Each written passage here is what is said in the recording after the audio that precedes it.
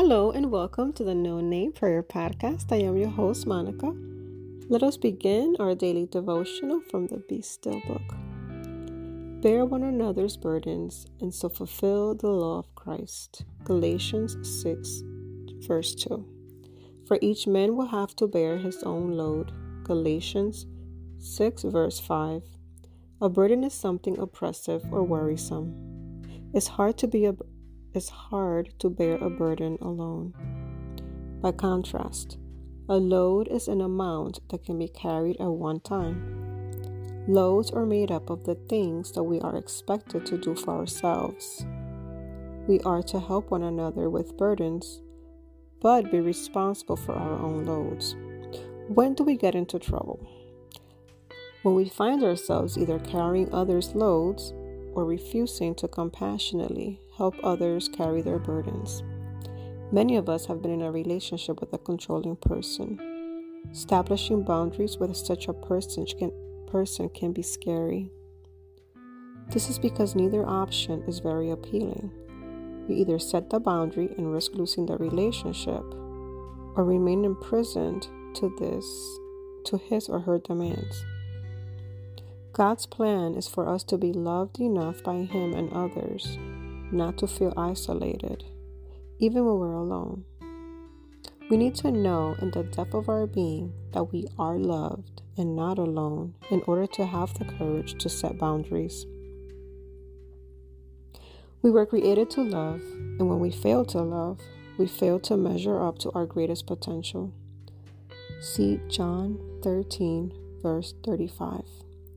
Difficulties arise when we equate love with meeting every need we encounter. Even Jesus didn't meet every need or heal every disease, and He is God. We all have limits, and as a result, we need to discern what God is asking us to do and what we are tempted to do out of guilt, fear, or other wrong motives.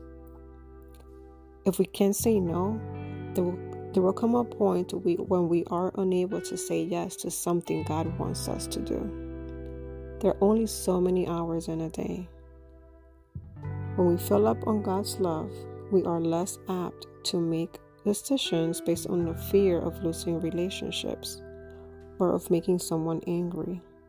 God fills us up through the indwelling Holy Spirit, and where the Spirit of the Lord is, there is freedom. 2 Corinthians 3, verse 17. We are free to love.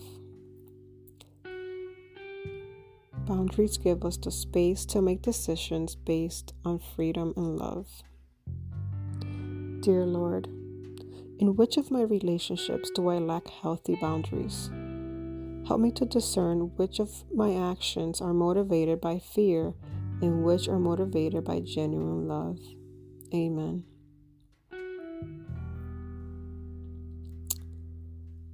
Father God, we pray for discernment. We pray that you help us see our relationships with others the way you see them. Show us where there is love, and show us where there is unhealthy an unhealthy bond, an unhealthy relationship.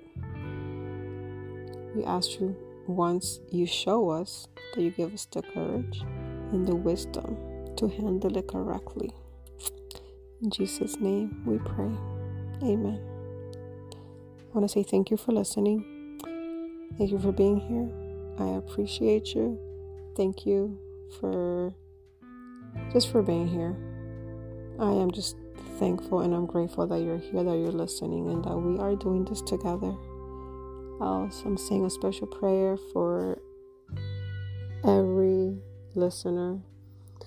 Um, and I pray that you find peace, that you find God's love in your life, that you see His hand in your life, that you see where He where He is making Himself shown. Sometimes we don't see it. Sometimes we don't recognize. Sometimes, sometimes we're so focused on what we don't have or what we are not feeling or what somebody else is doing that we don't we don't see all the great things that God is doing in our life. So My prayer for you today is that you see those things because I am pretty sure that will bring a big smile to your face. And once you see it, say, Thank you, Lord. Have a great day. Pray for me that I will pray for you.